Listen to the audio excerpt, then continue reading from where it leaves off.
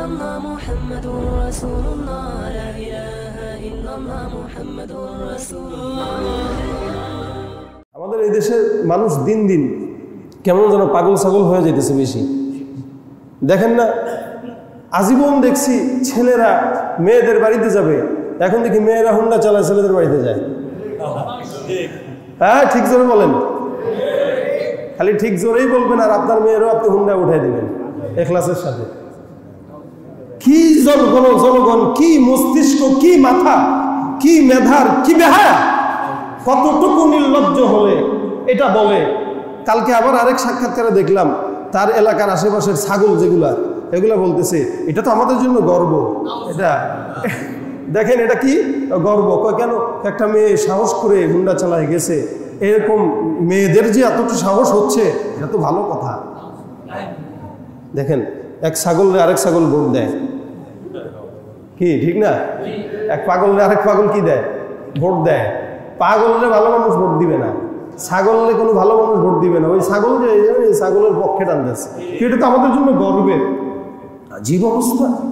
কতটা নির্লজ্জ বেহায়া হলে মেয়ে হুন্ডা চালায় বরের বাড়িতে যায়। আবার শ্বশুর বলে এই যে পারফরমেন্স দেখাইছে মাসাল্লাহ লাইক দিলাম একটা হুন্ডাও কিনে দিলাম। আহা, দুনিয়া। ওদিন আমি আজকেও বলতেছিলাম যে কাল দুই দিন আগে একটা প্রাইভেট আর বাসে সংঘর্ষ হয়েছে না? ছয়জন মারা গেছে, নগদ। দেখছেন নি ছবি?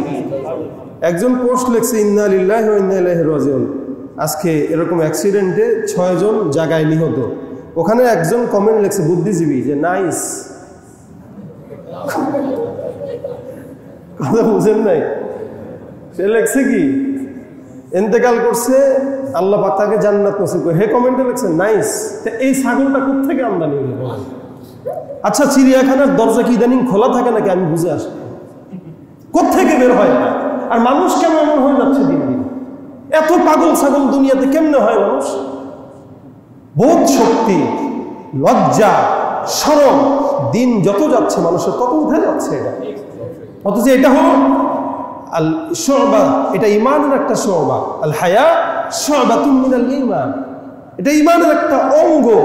আমার হাত যেমন আমার একটা অঙ্গ, আমি আমি কাপড় পরব, লজ্জা ঢাকবো, লজ্জাটা আমার ইমানের একটা অঙ্গ। আমার ইমানের অঙ্গ। এটা নাই তো ইমানও নাই। এটা নাই তো ইমানও নাই। এই জন্য হাদিস রসুল বলেন শিখতা তোমার লজ্জা থাকবে না, তোমার যা মন চায় তুমি তাই যা মন চায় করো। ন্যাংটা হয়ে রাস্তায় ঘুরো, আমাদের সমস্যা কি? তোমার লজ্জা নাই, তুমি ঘুরবা। জনগণ হয়তো ফ্রি ফ্রি দেখবে, এটাই তো। তা তোমার লজ্জা নাই তোমার ইমানও তো নাই, যার ইমান নাই, ওর তো জান্নাতও নাই। কিন্তু এটাকেই এটাকেই তারা আবার গতকালও এই নারীবাদীদেরকে হয়তো আগের কোনো টকশো হবে। ডিবিসি বাংলার টকশো একটা দেখলাম। কয়েকজন নারী মিলে এরা টকশোতে বসছে। তো একজন বলতেছে, প্রত্যেকটা জুমায় মসজিদে মসজিদে এই যে নারীদেরকে হেয় করা হচ্ছে, নারীদেরকে ঘরে বন্দি করে রাখার কথা হচ্ছে, নারীদেরকে অসামাজিকতার দিকে ঠেলে দেওয়া হচ্ছে জুমার আলোচনায়। আচ্ছা কোনোদিন কি আমরা বলেছি নারীরা খারাপ? আপনারা বলেন জুমায়। কখনো আমরা বলি এগুলা? আমরা বলি নারীরা মর্যাদাবান আগের থেকে, এখন থেকে না, শুরুর লগ্ন থেকেই। যার কারণে আমরা লোহারা নারীদেরকে টাকা দিয়ে তারপর ঘরে আনি, ফিরিয়ে আনি না। আর যাদের কাছে নারীরা কম দামি, তারাই নারীদেরকে অমর্যাদা করে, রাস্তায় নামায়, চাকরি করায়, লেবারগিরি করায়, এরাই করায়, আমরা করাই না। আমরা বলব, আমরা বলি কি, তোমাদের সম্মান বেশি, তোমরা ঘরে বসে বসে খাবা, আমি কামাই করে না দেবো। তুমি খালি খাবা আর ঘুমাবা, এটাই তোমার কাজ। আর যারা নারীদেরকে সমতার নামে রাস্তায় ঠেলে দেয়, এরাই মূলত নারী বিদ্বেষী। এরা ইসলামও বোঝে না, নারীর মর্যাদাও বোঝে না।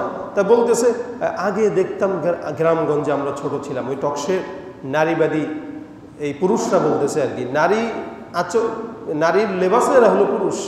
তো বলতেছে, আগে দেখতাম ভাওয়াল গান হইতো, ওই জারি গান হইতো, মেলা হইতো। এখন তো এগুলো দেখি না, আফসোস। এখন শীতের সময় আসলে খালি মাহফিল আর মাহফিল। দেখছেন? কুকুরের ঘেউ ঘেউনি শুরু হয়ে গেছে। খালি মাহফিল আর মাহফিল। আফসোসের কথা এটাও বেশি যে এগুলো যে শুধু নিম্নবর্তী মানুষরা দেখে তাই না? আমাদের সমাজের যাদের দিকে আমরা তাকায় থাকি, নেতৃস্থানীয় চেয়ারম্যান, মেম্বার, এমপি, মন্ত্রী, এরাও দেখে এগুলোতে যায়। তার মানে এর চোখে মন্ত্রী, এমপিরা সব হলো পাগল, হে একাই বুদ্ধিমান। না? দুনিয়াতে সবাই পাগল একসঙ্গে হবে, এটা হয় না। হয়তো তোর বুদ্ধিতে সমস্যা, না তোর বুঝে সমস্যা, আর নয়তো তুই সহি। তা তাদের উদ্দেশ্য হইল এই দেশ থেকে ওয়াজ মাহফিল বন্ধ করা। এগুলা বন্ধ করা তাহলে তারা হুন্ডা চালাবে ট্যাক্সি চালাবে যা মন চায় চালা কোনো সমস্যা নাই। চালা ইচ্ছা মতো দুনিয়াতে আল্লাহ ফুরসত দিয়ে দিছে। কিন্তু আপনারা আপনাদের মেয়েদেরকে দিয়ে এগুলো করায়েন না। কেমন হয়ে যেতেছে? আল্লাহ পাখি এই জাতির একটু যদি বুঝ দেয় বলেন আমিন। তো ভাই এই মিডিয়াগুলো যত খারাপ খারাপ জিনিস এটা প্রচার করে। এই যে এই বেচারি ভাইরাল হতে চাইছে, সে সাকসেস। সে হুন্ডা চালাইছে, এখন তাকে নিয়ে বিবিসি সংবাদ করে, সময় টিভি সংবাদ করে, এর আর আয়কে কিন্তু যে সমস্ত আলেমরা, অথচ অথবা যে সমস্ত মুসল্লিরা এই করোনাকালীন সময়ে হাজার হাজার গ্রামগঞ্জের মানুষকে, হাজার হাজার গরিবদেরকে চাউল, ডাউল বিতরণ করছে, এদেরকে তো কোনো দিন ফলো করতে দেখলাম না। এদেরটা প্রচার করে না, এদেরটা করবে না। এগুলো হচ্ছে এই জন্য কেন আমি সবসময় বলি যে এই জন্য আমাদের নিজস্ব মিডিয়া দরকার, আমাদের টিভি দরকার, আমাদের চ্যানেল দরকার। এখন আপনি তো ভিডিও করতে গেলে আপনি ফতোয়া দিয়ে রাখবেন যে হুজুররা আবার ভিডিও করে কেন? এই- সব জায়গায় আন্দাজে ফতোয়ার কারণে আমরা অনেক পিছিয়ে রয়েছি। যেই জিনিসগুলো ইহুদি খ্রিস্টানরা একশো বছর আগে বুঝে, আমরা সেগুলো একশো বছর পরে বুঝি। আজকে যদি সময় টিভি একাত্তর টিভির বিপরীতে আমাদের আলেমদের, মুসলমানদের দুই চারটা টিভি থাকতো, আমরা আমাদের ইসলামের কথাগুলো জোর গলায় প্রচার করতে পারতাম। আমাদের নাই কেন? টাকা তো অভাব নাই সুত্রাপুর এলাকার মানুষের। একটা পত্রিকা বের করেন যেটা ইসলামের কথা বলবে শুধু। যেটা অন্যায় তুলে ধরবে, অপরাধ তুলে ধরবে, দুর্নীতি তুলে ধরবে, এগুলো করেন এটা আমাদের কাজ। না, আমরা টাকা পাইলে খালি বাড়ি বলব পাঁচটা কেমনে চিন্তা করি। কবরে নিয়ে যাবেন বাড়ি? একটা থাকার জন্য করেন। আরেকটা দিনের কাজে সহযোগিতার জন্য টাকা পয়সা কোরবান করে দেন, ব্যাস। এছাড়া দুনিয়াতে আর কি আছে আমাদের চাওয়ার, আমাদের পাওয়ার? আজকে আমাদের কথাগুলো মিডিয়াতে প্রচার ঠিকমতো হচ্ছে না, কেন আমাদের নিজস্ব কোনো মিডিয়া নাই? এত যদি ফতুয়া দেন, তাহলে হারাম শরীফে যে মসজিদে নবমীতে ভিডিও হচ্ছে, এরপরে মক্কা শরীফে ভিডিও হচ্ছে, পাঁচ অক্ত নামাজে দেখবেন ইমাম সাহেবের সামনে ক্যামেরা ধরে দাঁড়ায় আছে চার পাঁচটা। দেখেন না এটা? যারা গেছেন? তা ওখানে ফতোয়া কোথায় যায়? ওখানে বলবেন যে এটা মক্কা, মদিনা, ভিডিও করা লাগে। তো ওইটা যেমন দিন, আমাদের এই কথাগুলোও দিনের একটা অবস্থান। আমাদের এই কথাগুলোও দিনের একটা মাধ্যম। এই জিনিসগুলো ইহুদিরা, খ্রিস্টানেরা দুইশো বছর আগে বুঝে তারা এটাকে কাজে লাগিয়ে আজকে তাদের হাতে ক্ষমতা। আমরা যদি দুইশো বছর আগে এই জিনিসগুলো কাজে লাগাইতে পারতাম, আজকে ক্ষমতা থাকতো মুসলমানের হাতে। আজকে বাবরি মসজিদ ভাঙা এত সহজ হতো আজকে আয়া সুফিয়া ওই জায়গায় নামাজ আদায় হয়, আর আমাদের পাশের এলাকায় আমরা বাবরি মসজিদ ভাঙতে দেখি, আমরা মুখ বুঝে থাকি, আমাদের বলার কিছু নাই। কেন? আমাদের মিডিয়া নাই, আমাদের বলার শক্তিও নাই। আমাদের কাটাতারের বেড়াগুলোতে মুসলমানদের লাশ ঝুলতে দেখি, এরপরও আমরা বলি, না, ভারত আমাদের বন্ধু। আফসোস। এই জন্য মুসলমানের মিডিয়া দরকার।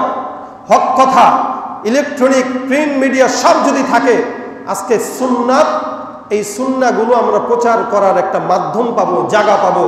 মানুষের কাছে সুন্নাগুলো প্রচার হবে, মানুষের কাছে ভালোগুলো প্রচার হবে, খারাপগুলো এমনি ধামাচানো হয়ে যাবে।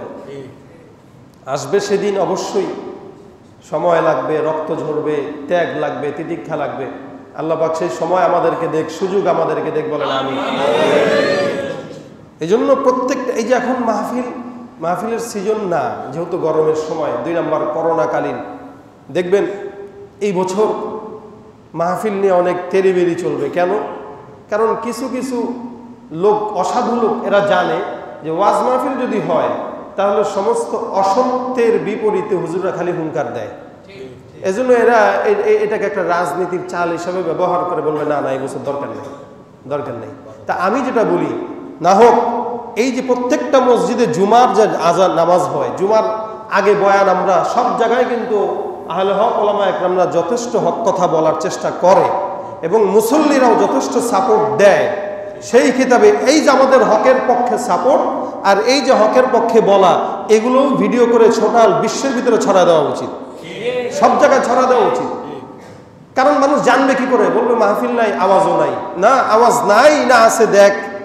আমরা হকের আওয়াজ এখানে বলব, এগুলা মিডিয়াতে সারা বাংলাদেশ দেখবে, সরকারের কানে যাবে। নেতাদের চোখ- চোখে পড়বে এটা। তারা বুঝবে যারা মাহফিল বন্ধ হইলেও মসজিদের জুমার নামাজের বয়ান কিন্তু বন্ধ হয় নাই। এই জন্য এটা সব জায়গায় করা উচিত। প্রত্যেকটা মসজিদে হক কথাগুলো ভিডিও করে ছেড়ে দেওয়া উচিত। এই সমস্ত নির্লজ্জ মেয়েদের বিরোধিতা করে, এই সমস্ত সমাজের অপকর্মের বিরোধিতা করে আমাদের হুঙ্কার, এটা জাতির চোখে পড়ুক, সরকারের চোখে পড়ুক, সরকার বুঝবে, জাতিও বুঝবে যে না, হক কথা মাহফিল বন্ধ করলেও দেশ থেকে বন্ধ করা যাবে না। মাহফিল বন্ধ হবে মাগার হক বন্ধ হবে না, ইনশাআল্লাহ। যতদিন আছি, হকের পক্ষে আপনারাও থাকবেন, আমরাও বলিষ্ঠ কণ্ঠে আওয়াজ করে যাব, ইনশাআল্লাহ। আল্লাহ পাক আমাদেরকে তৌফিক দান করে বলেন আমি এই জন্য এটা উচিত। আমাদের এখানে এটার নিয়ম নাই। আমি কথা বলেছিলাম এর আগে। জাস্ট খালি অনেক মিডিয়া আমাদেরকে ফোন দেয়, আমাকেও ফোন দেয় যে, হুজুর, কোন জায়গায় জুমা পড়ান একটু যাব? বলছে, না, অনুমতি নাই মসজিদের। তারপরে এক ভাই, উনি খালি অডিওগুলো ছাড়ার জন্য অনুমতি নিছে। কিন্তু অডিও না, এগুলো ভিডিও করে ছাড়া দরকার। এখন যদি আমরা এখনও যদি পিছিয়ে থাকি, আমাদের কপালে মায়েরাস পিছিয়ে এই যে আমি হক কথাগুলো বলতেছি, আপনারা সাপোর্ট করতেছেন, এটা অনেক বড় একটা ব্যাপার। এটা অনেক বড় একটা ব্যাপার। একজন তখন দেখবে যে না, এতগুলো মুসল্লি হকের পক্ষে আছে, ওদের মাথা যন্ত্রণা করা শুরু হয়ে যাবে। সব হকের আওয়াজ আমাদের মিডিয়া না থাকার কারণে বন্ধ হয়ে যাচ্ছে। আমাদের মিডিয়া থাকতে হবে। আমার এখানে এমন কোনো যুবক নাই, এমন কোনো ভাই নাই যারা নিজেদের উদ্যোগে করবেন যে না, আমরা প্রিন্ট মিডিয়া করব। আমরা পত্রিকা বের করব। আমরা ইসলামের পক্ষে কথা বলার জন্য এগুলো করব। শুধুমাত্র দিনের কাজ হিসেবে এই দিনের কাজ শুধু নামাজ, রোজা না, এগুলাও দিনের কাজ শুধু কথা বলা, হক কথা বলা, এটা দিনের কাজ না, হক কথা প্রচার করা, এটাও দিনের কাজ এই দিনের কাজে আল্লাহ আমাদেরকে সময় ব্যয় করার তৌফিক দান করুন